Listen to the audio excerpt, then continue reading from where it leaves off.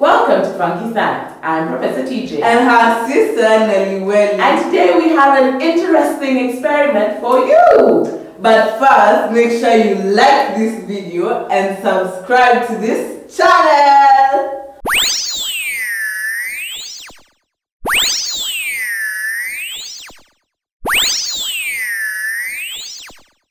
But first, let us tell you something about this experiment. Next time you're using a plastic bag, take an extra couple of minutes and have a go at it with this outstanding science experiment. All you need is an extra plastic bag because you won't use this one after you're done with this experiment and a couple of spare pens or pencils.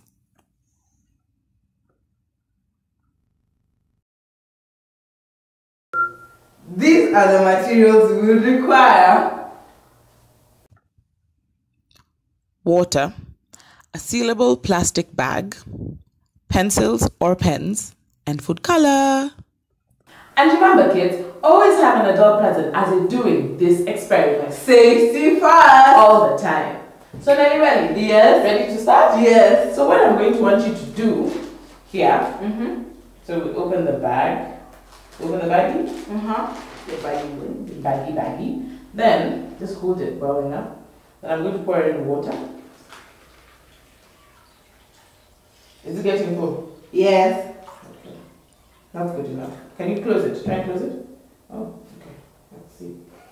Can close. So, Uh-huh. just to make this a bit interesting, I'm going to add in some food color to make the water a different color. Don't you think so? Everything is better in color.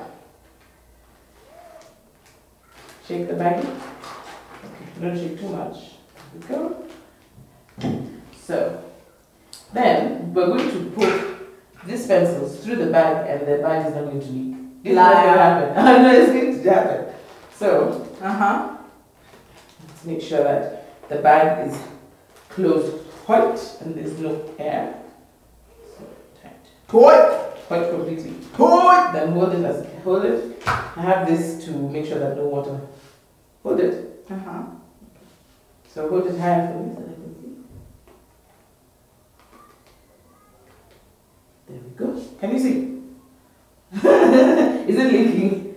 Do you want me to poke another bag? Another, another bag? Yes. Okay, go. What? The plastic bag is made from polymers. A polymer is a molecule made from joining together many small molecules.